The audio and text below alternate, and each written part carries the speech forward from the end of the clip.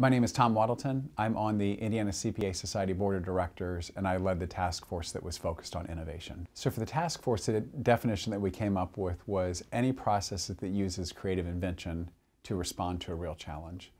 And there were two parts of that definition that we really thought were important. Um, one was the real challenge part, that you're solving something that you think is significant and impacting you. And so it's not just applying innovation for innovation's sake. And then the other piece was using creative invention. So when you look at, as you look at a specific challenge, not just doing things the old way, but can you implement new practices to be more creative in a thoughtful way and say, how would I do this differently since it's a big enough challenge to do that? CPAs see innovation as being, being very important. In general, they're not sure how to be more innovative and they want help. For the Indiana CPA Society, I think it's important for a couple different reasons. One, the members expect that the CPA Society will help them become more innovative um, as their professional home. And I think the other is the landscape of when members of the CPA Society are changing. So the Indiana CPA Society itself has to be more innovative and look at maybe a different business model, maybe different services that we provide to members.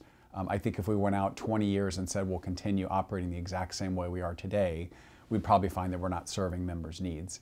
So I think even for our own society, we have to look at doing things very differently than what we do today. So I think it's important as we talk about innovation to recognize that there are examples of innovation already, and I can think of some within the Indiana CPA Society. So one that I would think of is a scholars program, which has gone on for several years, but as we look at wanting to bring more diverse talent and just attract people into the profession, building a program that targets people during high school and exposes them to the profession and gives them a good experience doing that, and we're seeing the results of that. So to me, that's an innovative program that is continuing.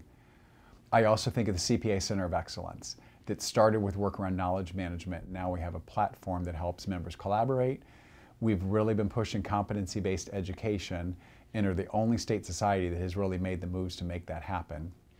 Again, moving our forward, ourselves forward in an innovative kind of space. And then another example would be the member networks that we have had. Um, so a way for members to collaborate, but one of the real challenges that we had when it was public companies was people having the fear of collaborating with your direct competitors. So they've been able to solve that problem by finding people who wanted to collaborate, but finding them people who were not in competition with each other. And that has grown, and I've heard members talk about the real value that they get from that kind of program.